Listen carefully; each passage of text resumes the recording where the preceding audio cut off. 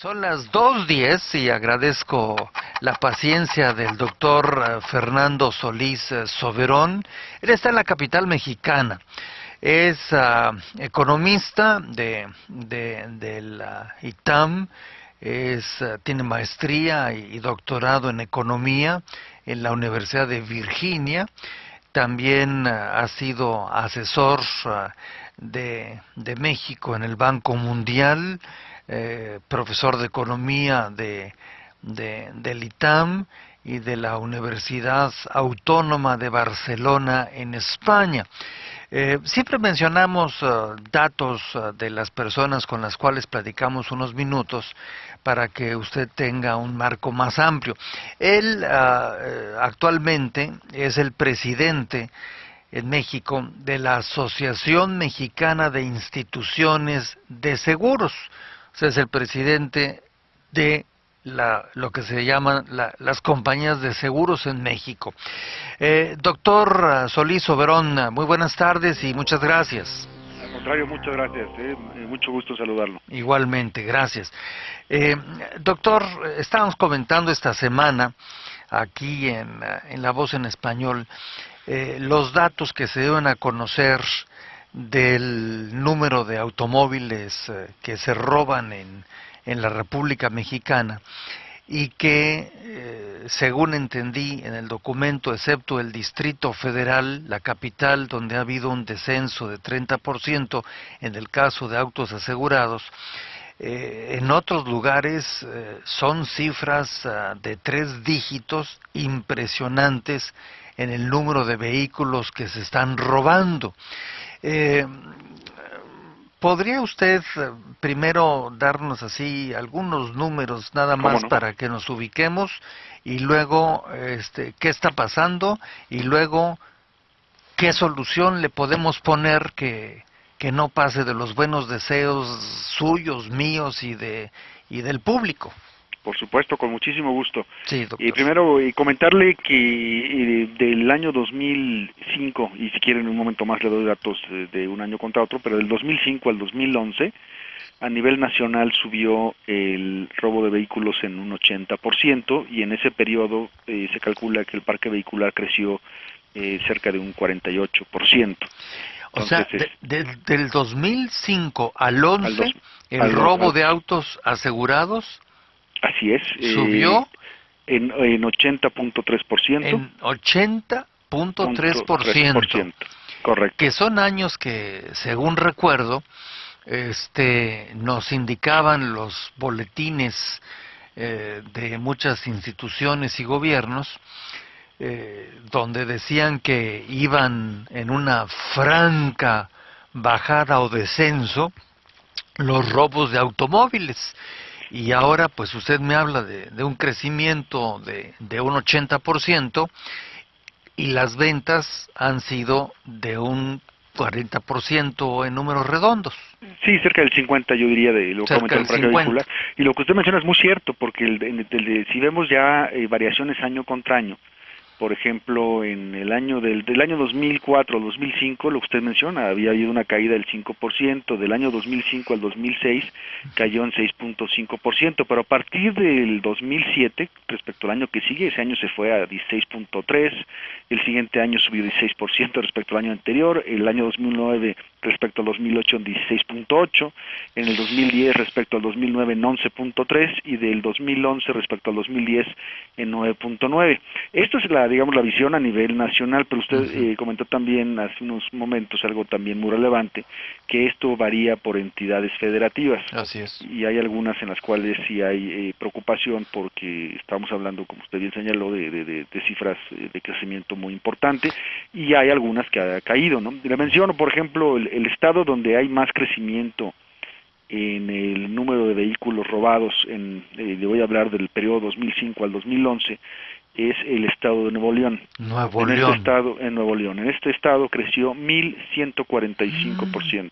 Mm. 1.145% creció el, el robo de autos en Nuevo León. Así es. Entre el, año 2005 al 11.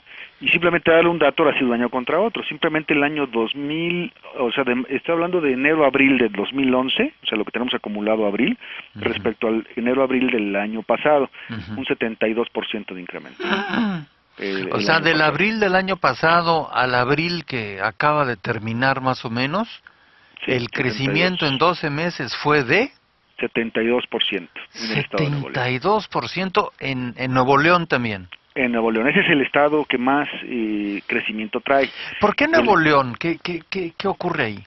Pues, eh, vamos, yo supongo que esto está relacionado a, al comportamiento en general que se ha observado en otros rubros de que tienen que ver con con delincuencia organizada y este inseguridad, pero no tengo yo más que los datos de lo que reportan, digamos, a las aseguradoras. No podría yo darle otros indicadores que, que, pudieran explicar esta. Bueno, entonces Nuevo León es el estado donde están desatados los los robos del 5 al 11. Así es. El otro estado que le sigue en, en estas frecuencias de crecimiento. Eh, de los últimos años, del 2005 al 2011, le sigue el estado de Coahuila, que en ese periodo creció 923%, y el año pasado, eh, que en los últimos 12 meses, creció 43%. Después de esto sigue el estado de Tamaulipas, eh, perdón, de Durango, perdón, de este Durango, con 593% y con un crecimiento el año pasado de 20%. Y Tamaulipas en el mismo periodo 389% y año con, eh, en los últimos 12 meses 53%. De los estados, eh, eh son los, principales, digamos, son, términos... perdón que le interrumpa, son, son cuatro estados, Tamaulipas, Nuevo León, Coahuila y Durango, los cuales tienen frontera todos entre sí. Sí. Bueno. Sí. Y, y, hay estados que, que, destacan por lo contrario. Y aquí tenemos dos. Uno es el Distrito Federal, donde eh, el, el, en los últimos años cayó en 30% el, el número de robos. El año pasado cayó en los últimos 12 meses 23.6%. Y un estado que inclusive va mejor, que es el estado de Baja California. Eh, ¿Norte o sur? Sur, Baja California Sur, con eh, un 45.4 de caída y el año en los últimos 12 meses de 18.4. O sea, sí tenemos estos estos contrastes. ¿Por, ¿por, qué, ¿Por qué eh, el Distrito Federal, capital de México, y, y Baja California Sur se da este fenómeno de caída? ¿Qué, qué se hizo? Eh, yo lo, que tengo, como le comentaba, son los datos que reportan a las aseguradoras. Podría aventurar hipótesis, pero, pero evidentemente está relacionado con que la delincuencia en estos estados, en este fenómeno, y las autoridades pues han podido este, disminuirla. Y lo contrario está pasando en otras entidades. En las otras. Este, en las otras entidades federativas. Otro dato que también preocupa es el que el robo con violencia está aumentando porque, por ejemplo, del total de los vehículos eh, que se robaron en los últimos 12 meses, eh, el año, digamos, el, año pasado, comparando con el año pasado, digamos, para ponerlo así, el 43% del año del 2010, digamos, respecto al, 2000, digamos, el, perdón, de los que se robaron en 2010, en este periodo, 43% fue con violencia y 57% fue un robo cuando el vehículo estaba estacionado. Y ahora en el 2011 eh, sube al 54% y disminuye el de los vehículos este, estacionados al 46%. O sea, se, se roban más autos ah, con violencia. con violencia sí. que los autos que están estacionados por ahí. Así es. Así es. Ahora, el de los, del número total de vehículos que se han robado, eh, se están robando más con violencia, esa sería la conclusión. Y también tenemos algunas marcas cuáles son las que tienen la mayor incidencia en términos de robo, en el, en, ya esto es a nivel nacional, obviamente todo esto lo tenemos también si le interesa, este segmentado por región. Sí, yo los... sí, no, perdón doctor eh, Solís Soberón, el otro día comentaba las, las marcas, este y aquí por lo menos ni antes ni ahora eh, ni van a vender más coches ni menos porque porque lo digamos, pero ¿cuáles son los autos preferidos de, de estos desventurados delincuentes? El preferido es el Suru de Nissan. El Suru de Nissan. De Nissan. Le sigue el Jetta eh, de Volkswagen, el Bora de Volkswagen, luego sigue el Sentra de Nissan, luego la Pickup de Nissan, luego la Pickup de General Motors, la Pickup Ford, la Pickup Lobo Ford, y digamos son los principales. Son los principales a, nivel nacional. A nivel nacional. Dice, que son muy bastante eh, recurrentes en las regiones, es decir, coincide en, los diferentes estados este, de manera muy, muy, muy general el tema. Bien. Ahora, eh, si vemos la cifra, este, no sé si quiere usted anualizada, ¿cuántos autos se, se han robado en 12 meses en total, autos asegurados? Sí, y que es importante la pregunta porque solamente está asegurado con las últimas estimaciones que tenemos eh, con base a información del INEGI, eh, que solamente el 26.5% eh, del parque vehicular cuenta con un seguro.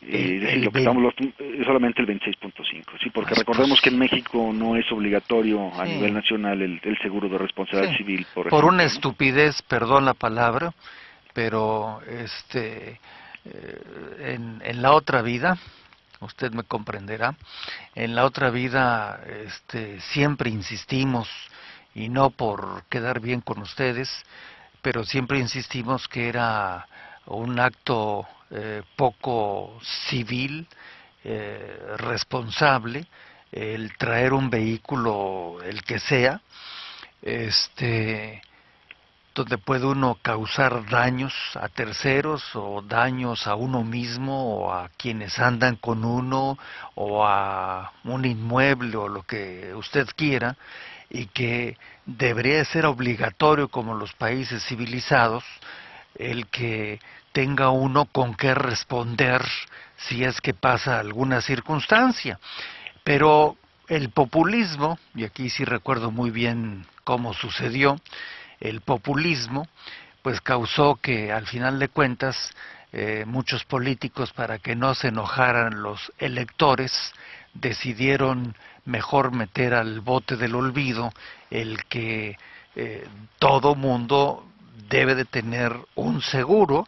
Y también hablamos con ustedes, recuerdo, y les dijimos que se incluso una, recuerdo una sesión este, en la cual estuvo un antecesor suyo y quien era el jefe de gobierno de la Ciudad de México, eh, y los sentamos en la mesa de, de aquella época en México para que se llegara a una cuota, porque el jefe de gobierno decía que ustedes estaban cobrando cantidades leoninas por asegurar y él, él pues pensaba que eso era un robo y ustedes decían que, que no y al final de cuentas pues ahí mismo en la mesa, por lo menos en esa ocasión, concluyeron que, o concluyó el responsable del gobierno de la ciudad, que no a la obligatoriedad del seguro.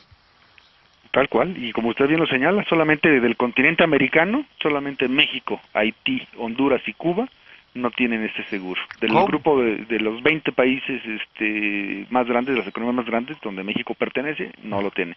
es, realmente lamentable porque, como usted señala, eh, esto es en beneficio tanto del, del, del, conductor, porque en muchas ocasiones, pues al causar eh, daños a las personas o a los bienes de terceros, pues puede llevarlo pues a perder una parte sino, muy significativa de su patrimonio o inclusive terminar en la cárcel. Hace poco había una persona que estaba, una madre de, de, un estudiante que por una carretera de Oaxaca tiene un accidente, causa un problema y este estudiante pues está en la cárcel porque no tiene el patrimonio para resarcir a las víctimas. Y desde la perspectiva de las víctimas, pues desafortunadamente, eh, si les causan daño en su patrimonio o en sus personas, que incluso en casos muy extremos las puede llevar a invalidez permanente o a la muerte, y si el que les provocó este daño, pues no tiene un patrimonio, pues aunque lo manden a la cárcel, pues no le da ninguna ningún beneficio, es decir, las familias quedan totalmente desprotegidas. Entonces, por eso, por política pública, eh, y como usted bien lo señala, eh, esto se pone como obligación a nivel internacional. Y también a nivel internacional como se hizo o se pretendía hacer como usted eh, acaba de señalar muy bien hace unos años pues los precios están perfectamente revisados y vistos y obedecen simplemente a cómo se pone el precio del seguro es decir la frecuencia de los de las ocurrencias eh, por los costos esperados y en estos seguros generalmente no eh, digamos las, rentabilidades incluso no son importantes porque eh, reitero es, es, una situación de política pública y hay una nota técnica que está avalada incluso por los propios gobiernos donde pueden observar que los precios que se cobran son razonables simplemente para poder funcionar adecuadamente. Yo yo coincido plenamente de, que esto es una asignatura pendiente. Digo por supuesto que es con todo respeto una pena que de Hispanoamérica, México, Haití y Cuba. Y Honduras. Y Honduras son los únicos países donde no está uno obligado a, tener un documento que le permita responder económicamente a través de una empresa de seguros eh, por los destrozos que uno haga o le, o le hagan a uno este, por populismo. Por supuesto que yo, y a lo mejor usted, perdón que me meta, eh, no nos gusta eh, pagar, si fuera posible, nada, ¿verdad? Bastantes cosas nos cobran por todos lados, pero al final de cuentas, si lo vemos con objetividad, a la hora que uno tiene un accidente o le pegan a uno y pase lo que pase, pues este eh, sale mucho más caro en todos sentidos excepto que sea una cosa menor ahí de, un rasponcito, sale mucho más caro que lo que costaría un seguro que fuera accesible, que es lo que pedimos nosotros. Eh, hablo de, nosotros, los, este espacio, bueno, no este, el, anterior, eh, que, que también ustedes este, pues bajaran los precios a lo máximo posible porque pues México no es un país de, de, ricos, ¿verdad? La mayoría no son ricos. No, y coincidimos plenamente, ¿eh? totalmente, y el precio debe establecerse con base simplemente a lo que actuarialmente se requiera para resarcir a las, a, las, víctimas. Me parece que esa debería ser la política pública y en eso hay coincidencia plena, en, lo que usted señala. Este, una última pregunta en esta ocasión, doctor Solís Soberón. Eh, ¿Cómo puede uno entender que en una etapa en la cual se ha puesto al ejército mexicano, a la marina, a los federales y a no sé cuántos cuerpos policíacos a andar recorriendo y, y observando y vigilando, ¿cómo es posible que haya crecido de una manera tan descomunal precisamente en esos años el robo de vehículos y me imagino que vehículos de todo tipo, incluso hasta de transporte de carga, etcétera. Y mercancías, sí, por supuesto. ¿verdad? Que creo que es un problema muy serio que tienen las empresas en México transportando mercancía. ¿Cómo es posible que se haya dado esto? Es, es un contrasentido. Sí, es, es, es una pregunta que, que habrá que, pedir respuesta y yo creo que eh, nosotros debemos de contribuir con las autoridades y con la opinión pública a través de, medios como el, de usted, eh, informándoles de qué estado están haciendo eh, con los recursos que disponen mejor las cosas, al menos en esta asignatura. Obviamente nosotros podemos dar información de lo que atañe a lo que esté, a los bienes asegurados, sean vehículos o mercancías.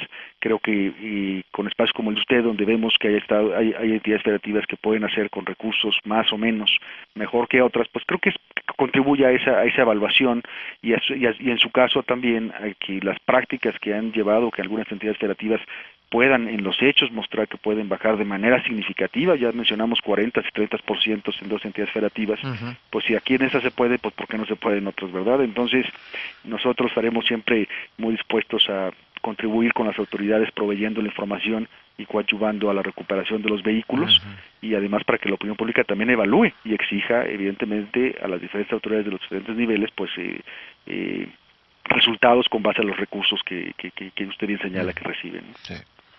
Sí, pero de todas maneras, este, digo, yo sé que usted no es el jefe de la policía ni cosas similares, pero, pero me quedo con la misma pregunta, ¿no? O sea, teniendo todo lo que tenemos en las calles, más de cincuenta y tantos mil elementos en esta guerra contra la delincuencia organizada, entre la cual están los señores que se dedican al, al, asunto de robar vehículos y robar mercancía y todo lo demás, ¿cómo podemos entender que se ha disparado el número con toda esa fuerza pública en las calles del país? Sí, yo creo que es una pregunta muy muy válida y habría que, que, que hacérsela, como usted bien señala, a los responsables de, en las diferentes entidades federativas. Ah. Bueno, pues como creo que no me van a contestar ellos, este, pues ahí lo dejamos, pero lo importante al final de cuentas es hacer notar lo que usted ya hizo notar, la, la, asociación que usted representa, que son las empresas de, seguros en la República Mexicana, y quizás ah, eh, de alguna forma, de alguna forma, este, intentar nuevamente, eh, yo sé que algunos se van a enojar conmigo, pero bueno, ya tengo colección, este, eh, hacer de una manera obligatoria, pero que sea justa por parte de, de las empresas que usted representa, que son todas ahora, el que eh, haya un seguro que actuarialmente, matemáticamente eh, sea viable, no se trata de que quiebren las empresas de seguros tampoco y dejen a la gente sin chamba, pero que también podamos tener eh, cifras realistas ante pues cada vez gente más empobrecida y un crecimiento muy bajo de la economía mexicana, aunque luego me, me quieran presumir que crecen mucho, eh, y, que no pase luego este, pues lo que ocurre en, toda la República casi, ¿verdad? Que las cosas se arreglan o a trancazos o a mordidas o a eh, ministerios públicos mordidos o influencias y no sé cuántas historias que pues inclusive hay gente que hasta pierde este, la cama de su casa para pagar eh, las consecuencias de un accidente porque pues porque no, no, había un instrumento que le, le diera el dinero para, para poder salir de la situación. Sí, me da mucho gusto escuchar lo que usted señala, ojalá así creando conciencia en la sociedad mexicana de que esto es en beneficio de la población, así como usted lo está señalando, y también reiterando de que debe ser eh, actualmente, matemáticamente, un, cobro justo para resarcir el servicio que se presta, eh, porque ese es el interés, es el interés para, eh, social, eh, coincido plenamente, ojalá creando más conciencia, pues eventualmente México deje de ser eh, pues la excepción de todos los países que de, desarrollo similar o, superior al nuestro, ¿no? Bueno, incluso hay países con niveles de desarrollo inferior al nuestro que ya tienen esta medida porque, reitero, eh, como usted bien señala, es en beneficio de la sociedad. Así es. Pues eh, muchas gracias por, primero, por haber esperado el, el, colgarlo ahí un ratito en el teléfono, pero no fue intencional. Este, al doctor Fernando Solís Soberón, presidente de la Asociación Mexicana de Instituciones de Seguros, de las empresas de, de seguros. Y esta es ah, la noticia que no tiene nada de buena, ya se dio, aquí la estamos reflexionando, ampliando, y pues habrá que preguntarle ahí a, a ciertas personas que no creo que tengan muchas ganas de, de contestar por qué estos crecimientos impresionantes en el caso de, de la mayoría del territorio nacional. Doctor, mucho gusto en saludarlo y ahí seguiremos platicando en el tiempo. Por supuesto, eh, mucho gusto saludarlo. Que le vaya, que le vaya bien, muchas gracias. Hasta luego.